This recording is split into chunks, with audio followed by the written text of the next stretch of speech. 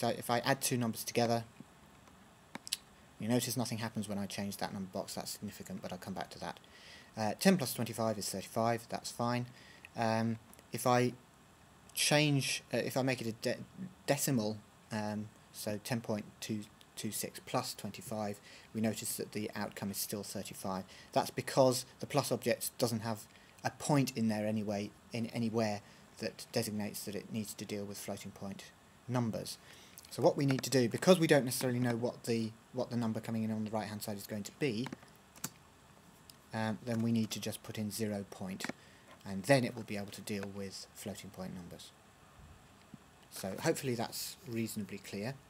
Um, you'll notice incidentally that if I want in an, a number box to be able to uh, to control the uh, the number at any uh, decimal um, stage, then I I click and drag at that stage in order to add that number. So if I click to the left hand side of the decimal point, then I oops sorry, and I drag, then I just uh, change integers.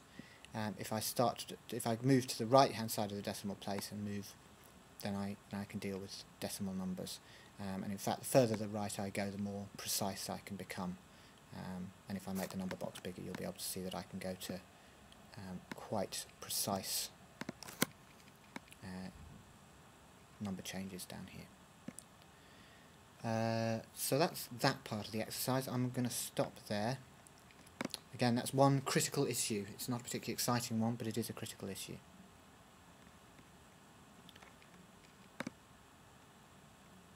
Because I didn't really talk about the uh, the mathematical objects, um, although it should be reasonably clear. I, I, hopefully, it's reasonably obvious how they work. Um, but there are, you know, the usual four, as I think I mentioned before. Um, you have addition. Um, you can have. I'll just make this a bit bigger. Yeah.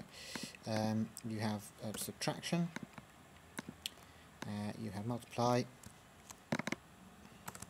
And you have divide. Um, and remember, if you want to get them to deal with uh, decimal places, you need to put in zero point, or your number that you put in as an argument needs to have a point in it.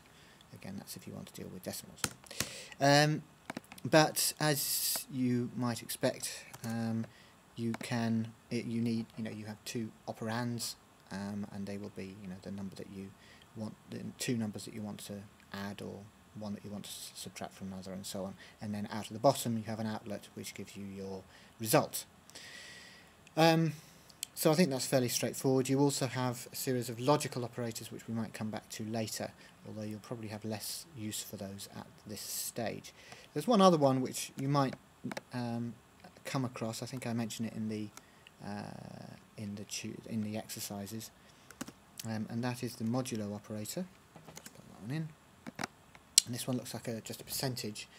Uh, but what this one does is to well, essentially divide by the number that you put in as an argument, uh, but it doesn't give you the result of that. Um, it will divide it by a whole number um, and then find the remainder. So it's the remainder that it will output. So for example, if I put in um, the number 3 as an argument, um, and then I'll put in two integers here,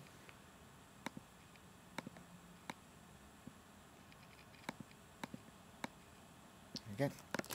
Um, uh, we basically make a, a, sort of base, a base three. Um, so we have one, two, three, uh, and then when we move to four, um, we we I suppose we kind of uh, how how many threes are there in four? Well, there's one, but we don't worry about that. There is one left over. How many fives are there in three? Well, there's one five in 3, um, but there are 2 left over.